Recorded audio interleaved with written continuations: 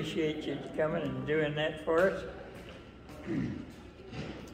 Oh, as soon as I get that mic thing back, I gotta, something I want to tell you about that song, first song that he just sang. And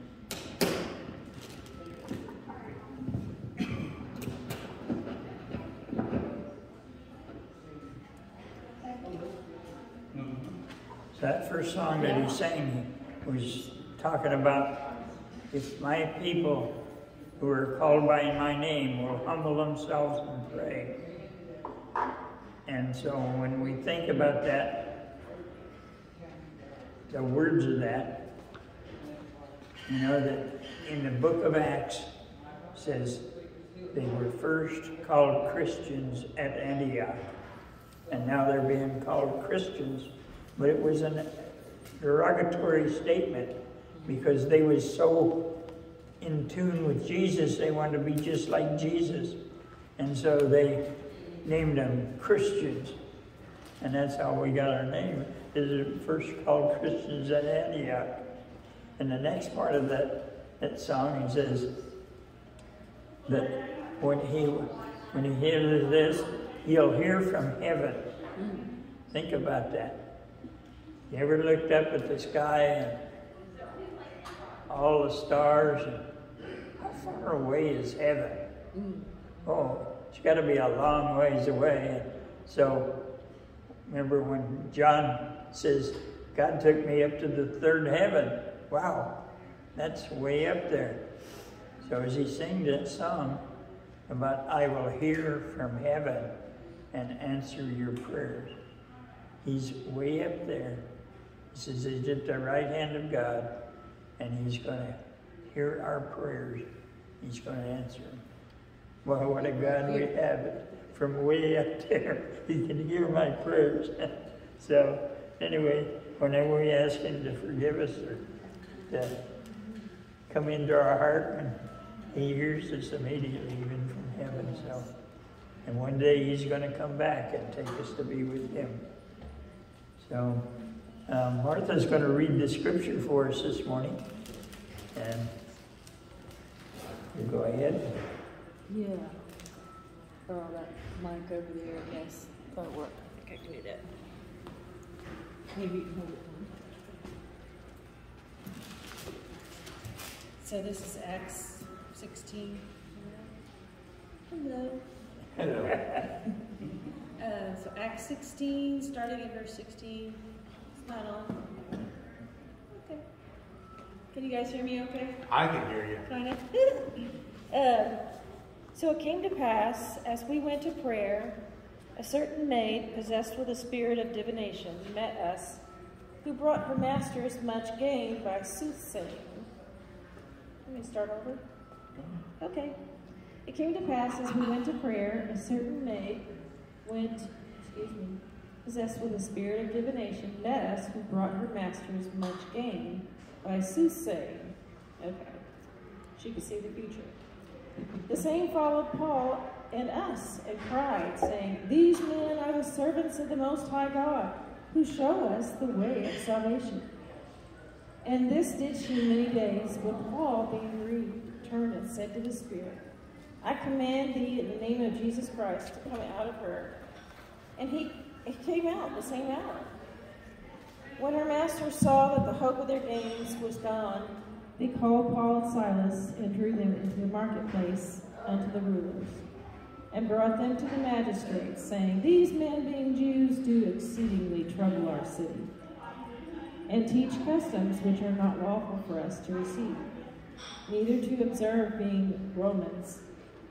And the multitude rose up together against them, and the magistrates tore off their clothes and commanded to beat them. And then they laid many stripes upon them. They cast them into prison, charging the jailer to keep them safely. Who, having received such a charge, thrust them into the inner prison and made their feet fast in the stocks. So it must have been like the dungeon, right? And at midnight, wow, here comes. Paul and Silas prayed and sang praises to God. And the prisoners heard them. They're in the dungeon and they're singing praises to God. And they're in the stocks and bonds and. Suddenly there was a great earthquake, so that the foundations of the prison were shaken. And immediately all the doors were opened and everyone's bands were loosed. This really happened. And the keeper of the prison, awakened out of his sleep and seeing the prison doors open, drew out his sword and would have killed himself, supposing that the prisoners had all fled. But Paul cried out with a loud voice, saying, Do thyself no harm, for we are all here. Then he called for a light and sprang in and came trembling and fell down before Paul and Silas and brought them out and said, Sirs, what must I do to be saved? And they said, Believe on the Lord Jesus Christ, and thou shalt be saved in thy house. And they spoke to him the word of the Lord and to all that were in his house.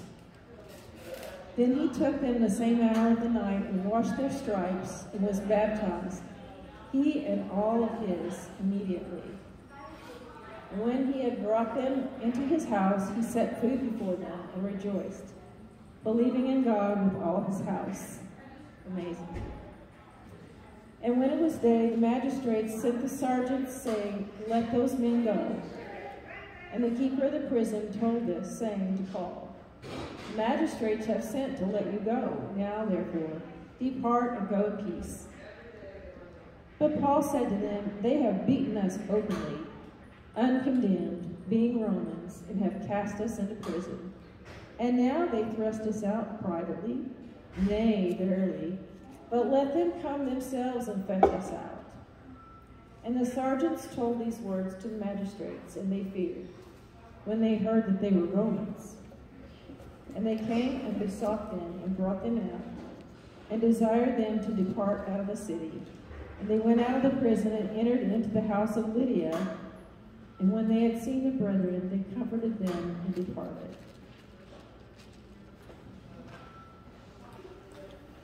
Thank you, Martha, for You're welcome. reading that. Yes, sir.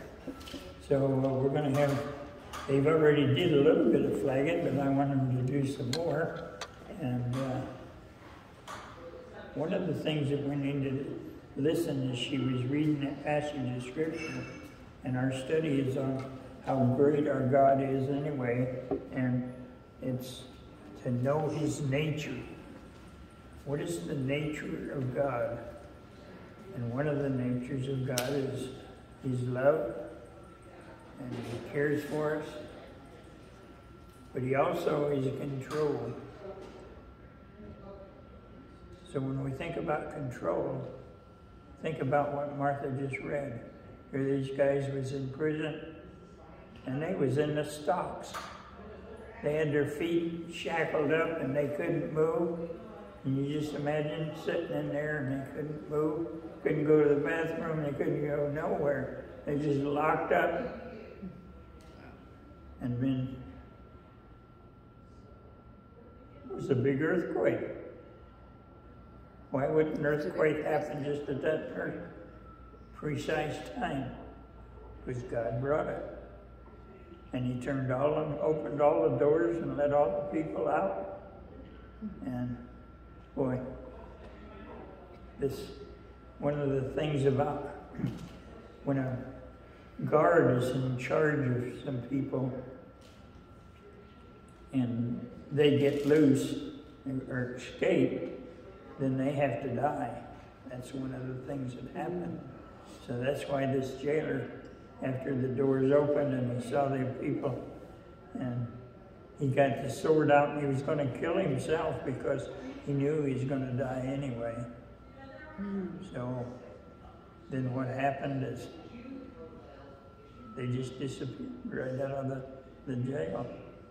When the guys come back, they went to check on them and the doors was all locked. See, when Jesus come back, after he was raised again the third day, and he went to see the disciples, and they was in a room that was locked up, and he just appeared into them. Well, one of the things that we need to think about with that, he says, when he comes back to take us to be with him, our bodies are made, be made like unto his glorious body. So can you think about just walking through a wall and not, yeah, we can't comprehend that kind of thinking right now, but it's going to happen. Our bodies will be made like unto his glorious body. He just walked right through there, talked to the disciples in the locked up room, and now these uh, prisoners, they just walked right out of the, the jail and it was still locked. So that's the kind of a God that our God is. And that's why we want to study today about the nature of God and all that He does and all the power that He has and that He really is love. So let's let uh, kids go ahead and do some more Do flagging you know words. another worship song? Sure. Okay.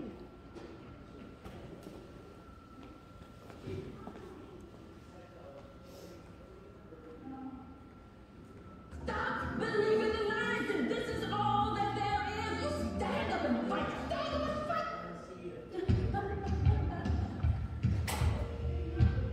I think you got the wrong thing.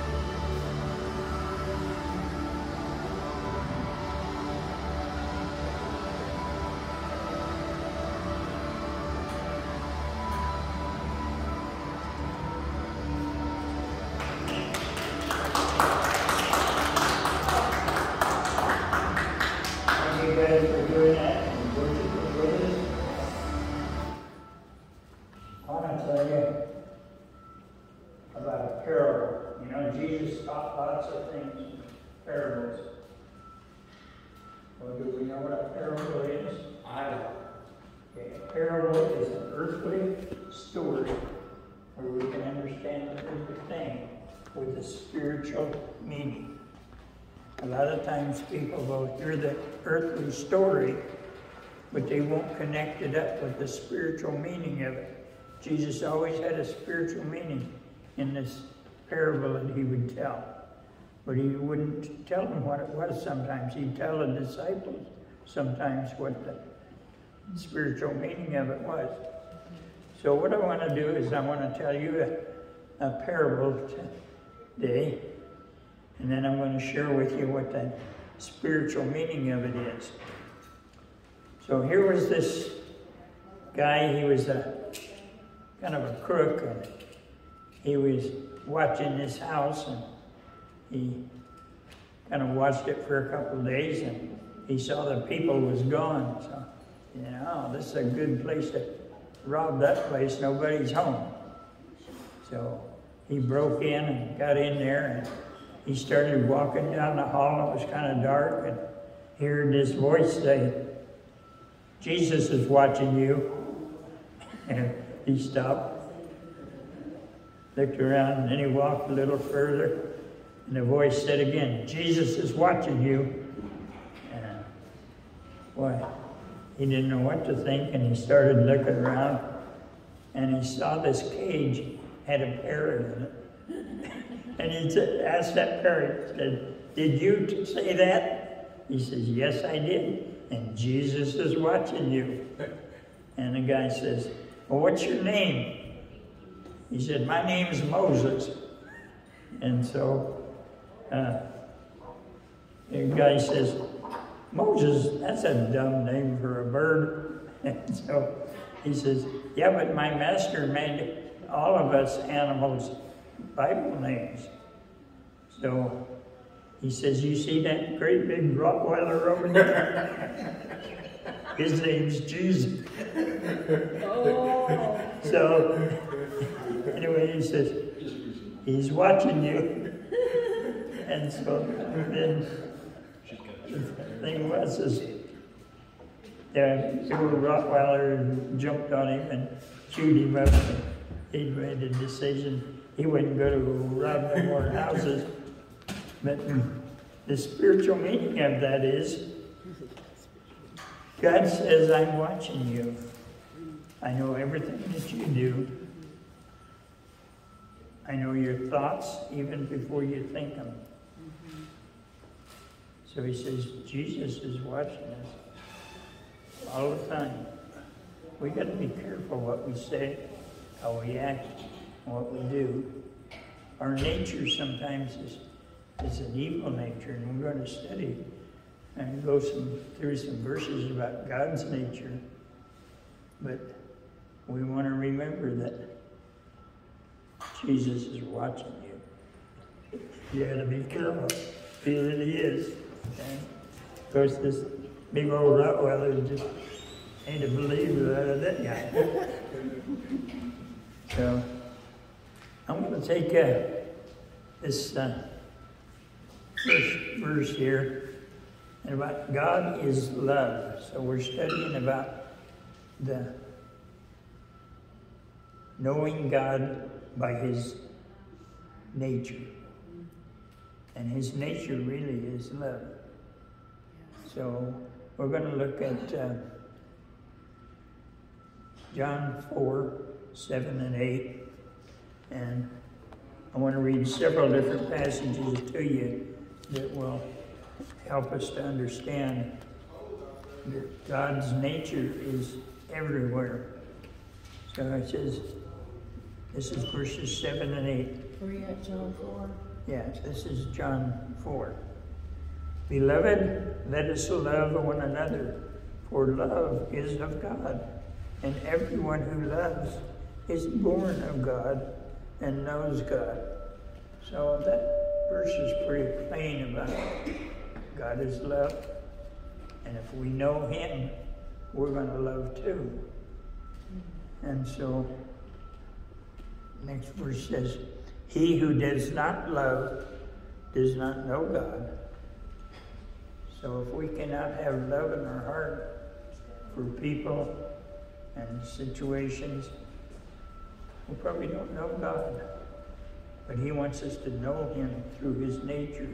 And His first off is love His nature. And the next one is uh, God is light. And to 1 John 1 5.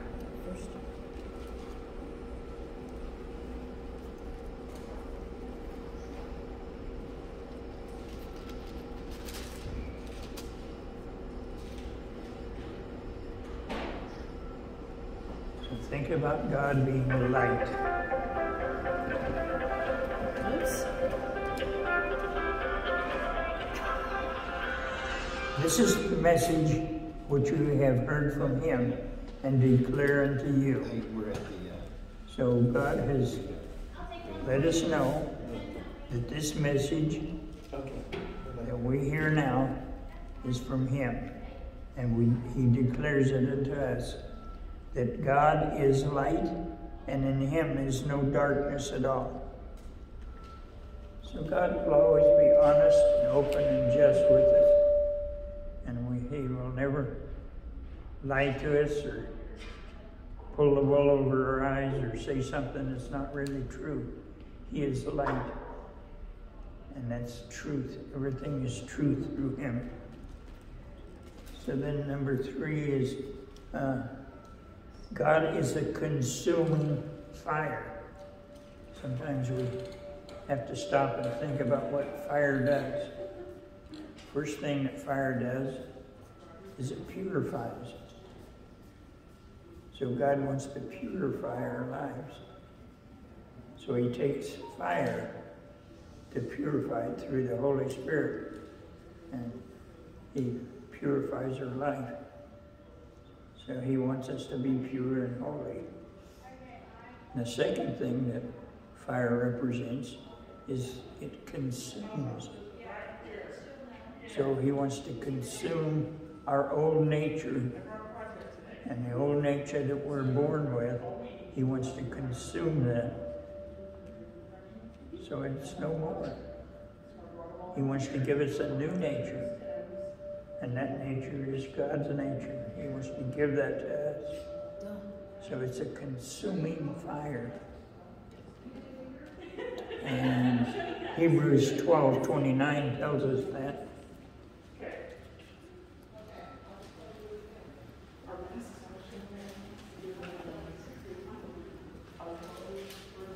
For our God is a consuming fire.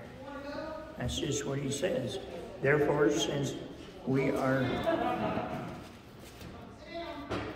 receiving a kingdom which cannot be shaken, let us have grace by which we may serve God acceptably with reverence and godly fear. And God is a consuming fire. Remember that fire purifies. He wants to purify our lives. As the scripture says that when we receive Christ as our Savior, He sends the Holy Spirit to be with us. Not only to be with us, to be in us. Remember in the Old Testament, God would send the Holy Spirit to men and women and give them power to do what God wanted them to do. But now, after we're saved, after Jesus came, He says, I will give you the Holy Spirit, and He will not just be with you, He will be inside of you, and He'll live inside of you. Amen. That's one of the reasons is we need to be purified. We can't live in an unholy place and have the Holy Spirit living in there.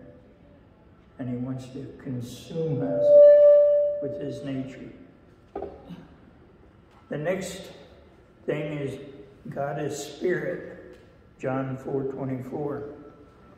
And as we think about spirit, and John it says it is spirit.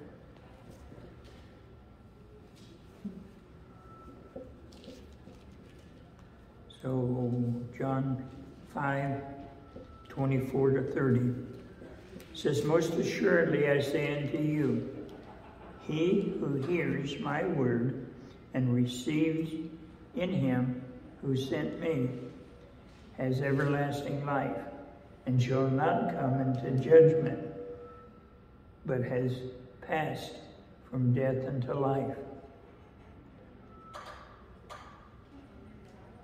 And verse 30 says, I can of myself do nothing. As I hear, I judge, and my judgment is righteous, because I do not seek my own, but the will of Him, of the Father who sent me. So really, Jesus, through the Holy Spirit, is saying that He doesn't do anything in His own. He only does what the Father tells Him to do. And so He wants us to know that uh, He is Spirit. Those who worship Him, He says, must worship Him in spirit and in truth. So when we pray to God, I can't see God, but I know He's there because He's given me the Holy Spirit to live inside of me.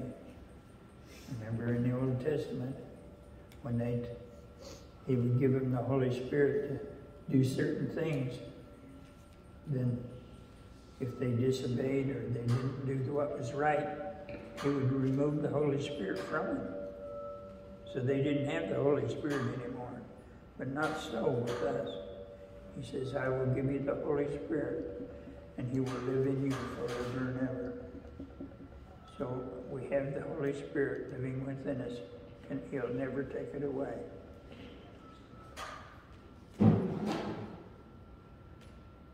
So number five is uh, the attributes of God. The attributes of God reveal His nature. And His Holy Spirit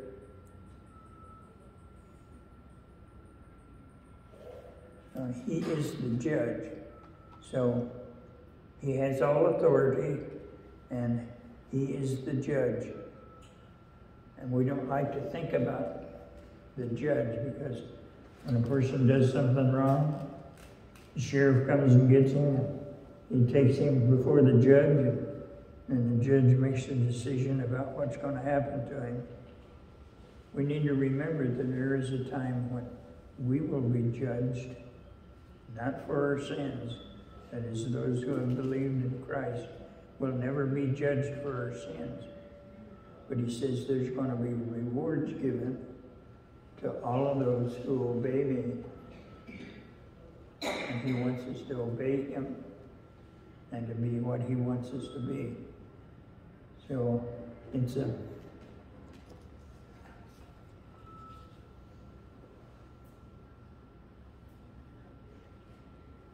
So God has all, ascribed all power to God. So all power is ascribed to God. And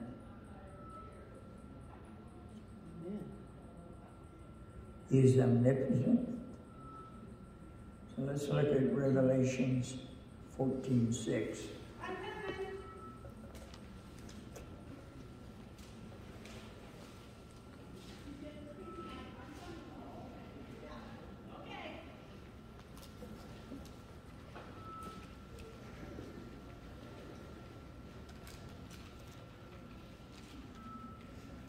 And I heard, as it were, the voice of a great multitude, and as the sound of many waters, and as the sound of a mighty thunderings, saying, Hallelujah, for the Lord God is omnipotent, and he reigns. So when we think about his nature, we have to remember that he reigns over everything. Just like when we was talking about the jail, the earthquake that happened and the doors of the jail, and the guys just walked out, and Jesus came and walked right through the door into where they was. He has all power and all authority, and he can do anything. So when we look at the nature of God, we can't limit him to anything. He can do everything.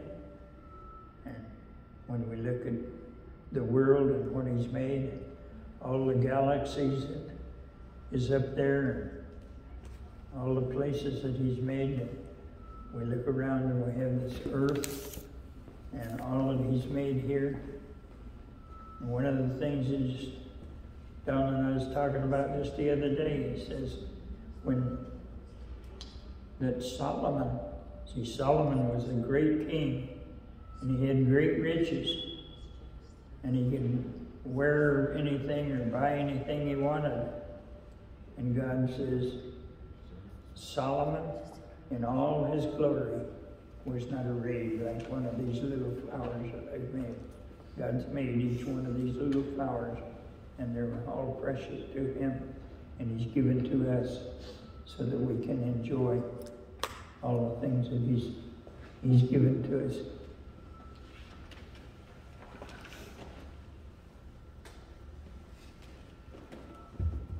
just wanted to bring this into view because we need to see it as, as truth.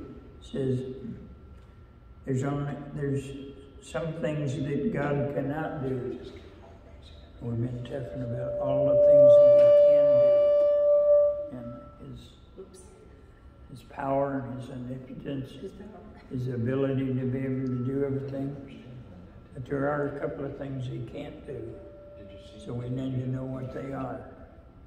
He cannot lie. God will never lie. So he'll never lie to me or to you. He'll always tell us what the truth is. If he sees sin in our heart, he'll reveal it to us. If he sees something that pleases him, he'll reveal that to us. But he always tells us the truth. He cannot lie. And then he cannot deny himself. As we think about God and all who He is, He cannot deny Himself. He is, is who He is. And like He told Moses, He says, I am who I am. And it won't ever change. So He cannot deny Himself, and He cannot lie.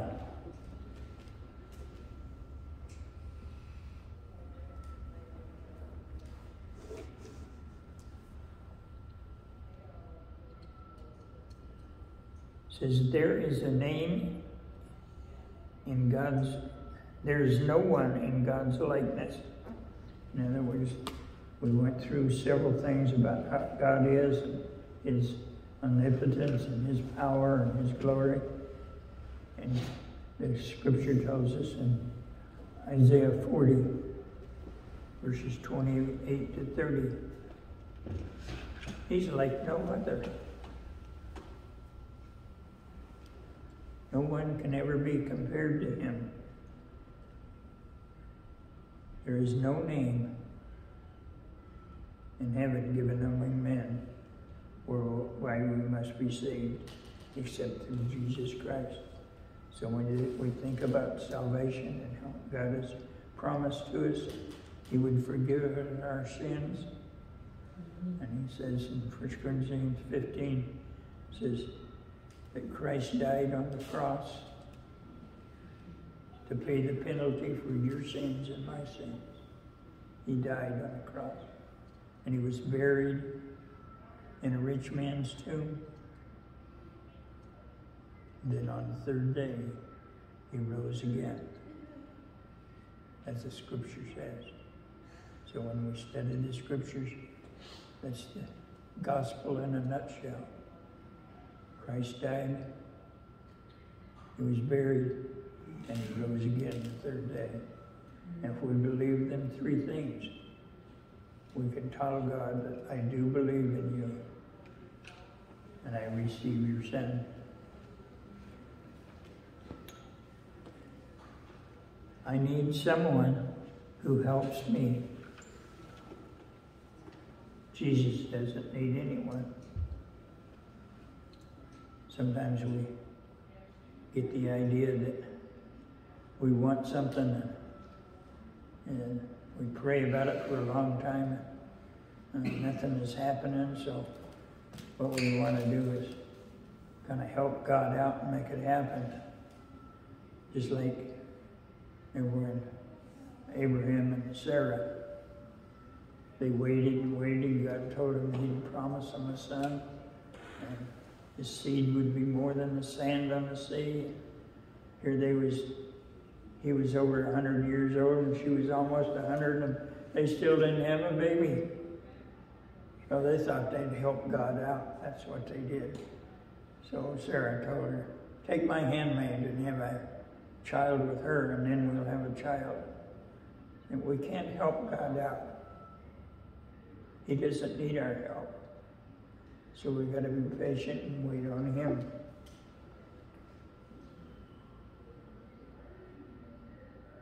Then the heavens do testify of God's nature. You can't look up into the heaven at night and not see the wonder and the glory of what God has did.